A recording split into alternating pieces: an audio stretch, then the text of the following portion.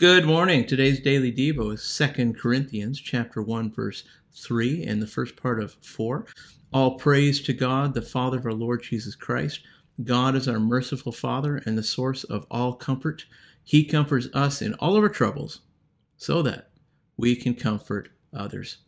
I love this verse because it's about me and it's also not about me. It's about you and it's also not about you. If you need comfort because you're going to, uh, through a time of troubles right now, God is there to comfort you. God is there to help you. And guess what?